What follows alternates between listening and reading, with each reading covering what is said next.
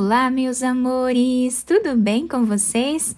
Na aula de hoje, nós vamos aprender a fazer um modelo de meia muito fácil de fazer. Nós podemos fazer tanto para crianças, adolescentes, adultos, enfim, tanto para homens e mulheres também, tá? Vocês podem usar a cor que vocês desejarem para fazer essa peça. Não esquece de já deixar o like, se inscrever aqui no canal e ativar também o sininho da notificação para você não perder nenhum vídeo aqui do canal. Esse ponto que nós vamos utilizar nessa meia aqui no início, ele é múltiplo de 3 mais 2. Então, nós vamos fazer de 3 em 3 pontos iniciais até atingir o tamanho da grossura do nosso pé e no final adicionamos mais dois pontos. Então, para fazer esse tamanho com vocês, que vai dar aproximadamente aqui 22 centímetros, eu vou trabalhar 35 correntes. Depois de fazer todas as correntes iniciais do nosso trabalho, nós vamos agora começar a trabalhar na terceira corrente. Temos a primeira, a segunda, a terceira. Nela, nós vamos colocar a agulha e vamos trabalhar aqui ponto baixo. Essas duas correntes que ficaram aqui no canto do trabalho já servem como primeiro ponto dessa carreira. Vamos na próxima e trabalhamos também ponto baixo, dessa forma. Na próxima também.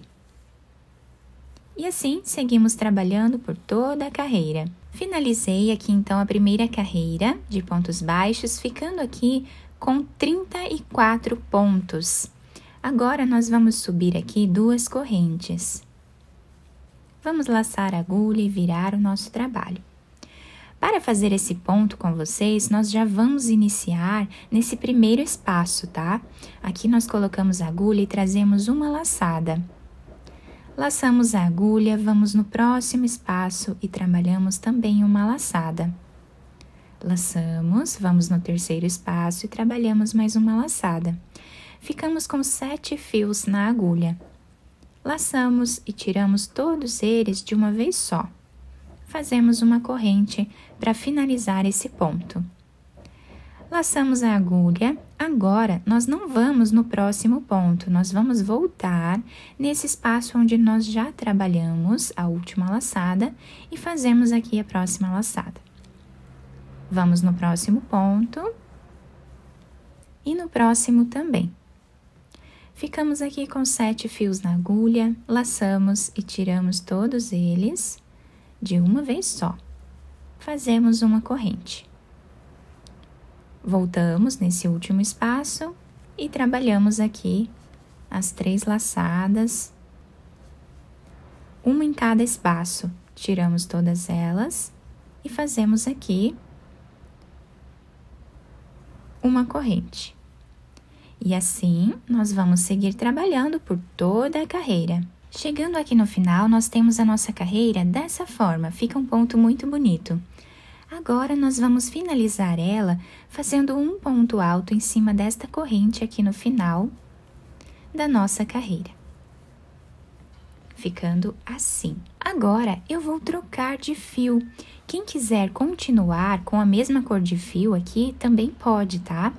Eu vou desmanchar essa última argolinha do ponto alto que nós fizemos, vou pegar essa outra cor e vamos passar finalizando esse ponto alto com essa cor de fio. Agora, vamos fazer aqui uma corrente, virar o nosso trabalho. Nesse primeiro espaço que nós temos, nós vamos trabalhar ponto baixo. Vamos no próximo espaço e trabalhamos também ponto baixo. E assim nós vamos seguir fazendo ponto baixo em cima de cada ponto que nós temos de base, sempre seguindo aqui os espaços da carreira de baixo. Assim, nós vamos fazer por toda a carreira. Chegando aqui no final da carreira, nós ficamos com 34 pontos, que é o mesmo número de pontos que temos na primeira carreira. Agora, vamos fazer as duas correntes, laçar a agulha e virar o trabalho. Nesse primeiro espaço, nós já trabalhamos a laçada. Vamos no próximo também. E assim nós ficamos com sete fios na agulha, tiramos todos de uma vez só, fazemos uma corrente. Voltamos no último ponto trabalhado e começamos a fazer as três laçadas novamente. Tiramos todas elas e finalizamos com uma corrente. Dessa forma aqui, nós vamos fazer por toda a carreira, repetindo o que fizemos aqui. Finalizei essa carreira com um ponto alto, exatamente como nós fizemos aqui. Agora, eu vou desmanchar essa última argolinha do ponto alto que nós fizemos. Vou pegar esse fio azul, que nós já utilizamos na primeira e na segunda carreira, né? E agora, nós vamos finalizar esta carreira com esse fio, assim. Vamos fazer uma corrente, virar o trabalho, e aqui nós vamos trabalhar a carreira de pontos baixos, tá? Com essa cor de fio agora. Depois, finalizando esta carreira, nós vamos repetir o que nós fizemos lá na segunda carreira, com essa cor aqui, né? Depois, finalizando com essa cor as duas carreiras, nós vamos trocar de fio novamente, pegando esse fio aqui e começando a fazer as duas carreiras novamente. Eu vou fazer mais algumas carreiras nessa barra inicial aqui, trocando de fio a cada duas carreiras, tá? E eu já trago para mostrar para vocês quantos centímetros ficou nessa barra. Fiz aqui então aproximadamente 7 centímetros de altura nessa barra, mas vocês podem fazer o tamanho que vocês desejarem. Podem fazer mais carreiras aqui se vocês quiserem, tá? Então, eu fiquei com quatro repetições de duas carreiras. Agora, vou desmanchar novamente aqui para trocar de fio. Então, vou pegar a cor azul, vamos fazer duas correntes virar o nosso trabalho. E essa cor aqui nós já podemos cortar, tá? Para depois nós finalizarmos aqui no cantinho do nosso trabalho.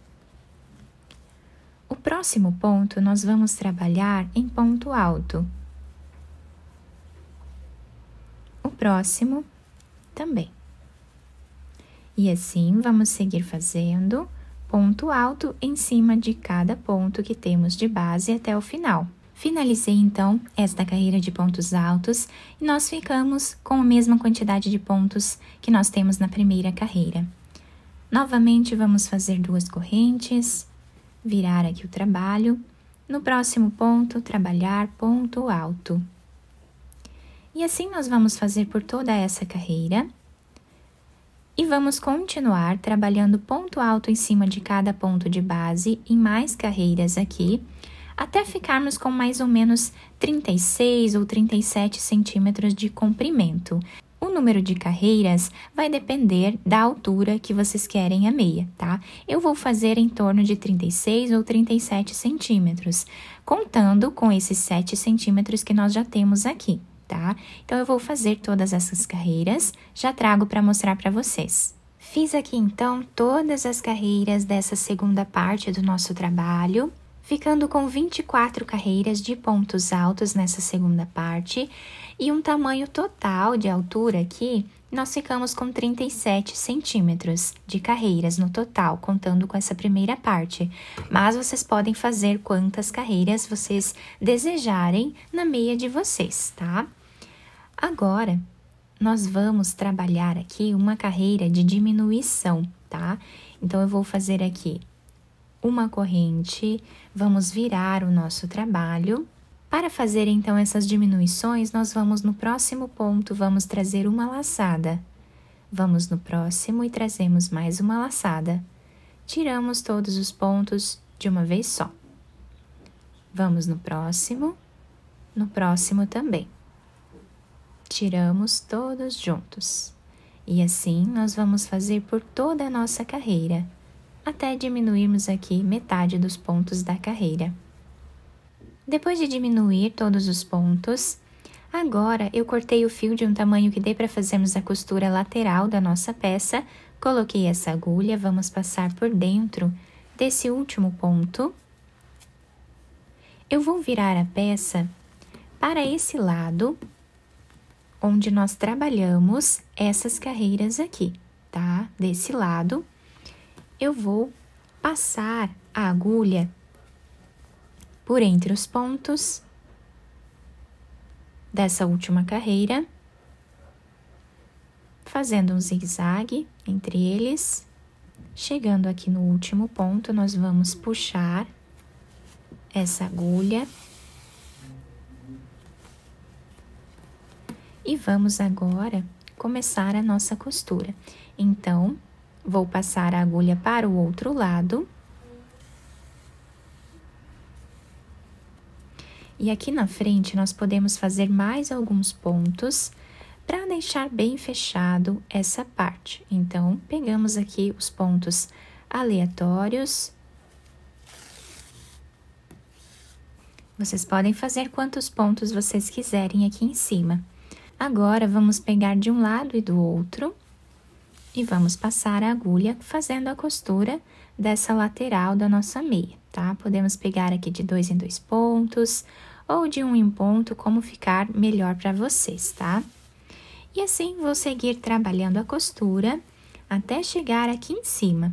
Chegando aqui, eu vou fazer um nó entre esses dois fios, depois esconder eles entre os pontos e cortá-los. Depois de terminar toda a costura da peça, eu virei ela para o outro lado e dobrei essa parte de cima, tá? Apenas dobrei ela aqui para ficar com esse detalhe a mais na parte de cima da nossa meia, com esse ponto incrível que deixa a nossa peça ainda mais bonita. Então, ficou assim a nossa meia, a parte de baixo dela se adapta super bem ao nosso pé.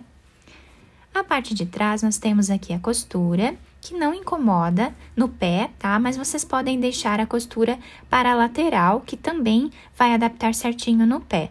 Eu espero que vocês tenham gostado do nosso vídeo. Se vocês gostaram, deixem o like, se inscrevam aqui no canal, ativem também o sininho da notificação para vocês não perderem nenhum vídeo aqui do canal.